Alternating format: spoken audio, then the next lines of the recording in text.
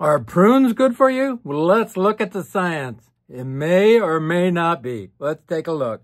Dr. Paul Haider, Master Herbalist. Get healthy now. Hi, Dr. Paul Haider, Master Herbalist and Health and Wellness Instructor for 34 years.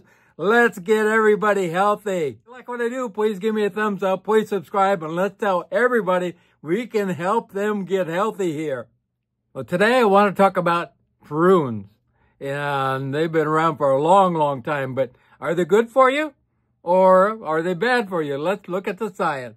Some people have an automatic turn off to prunes, you know, oh, prunes, terrible, prune juice. Uh, uh, but actually, they are amazing. They're anti-inflammatory, super amount of antioxidants, double that of any kind of fruit that you can think of.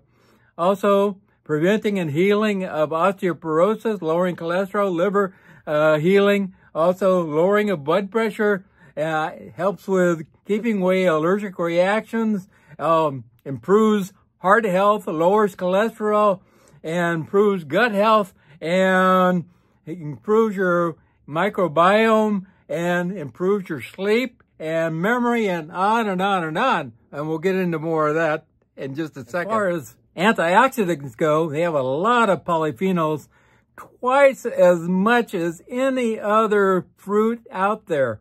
So prunes are amazing as far as antioxidant uh, capabilities in keeping away inflammation and that type of thing. For digestive health, you know, lots of people know about that also, but lots of people don't know it's really good for osteoporosis. And we'll get into that a little bit more in just a second. Really good for the liver, improves your sleep, all kinds of things. Good for your heart and gut health.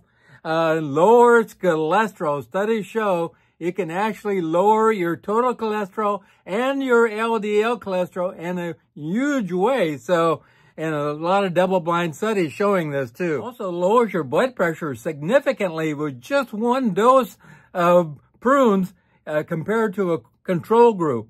Also, if you have, you know, high liver enzymes, ALT, AST, that type of thing, actual eating prunes can improve that and make it better and heal that liver and make a big difference. show if you keep coming down with allergies, eating prunes can help to prevent that. And if you have allergic reactions to everything, prunes can make a big difference. You're worried about losing your memory as you get older, eat your prunes. Studies show it help to prevent cognitive decline. Lots of antioxidants to prevent aging and look at my skin. I mean, really, uh, I look, I had a lady the other day said, you look like you're 42 and I'm going to be 72. So prunes will help you in a big way. Cardiovascular health, as far as preventing heart attacks and strokes and things like that, prunes do a really good job because they lower those uh, LDL cholesterols and increase your HDL cholesterols and,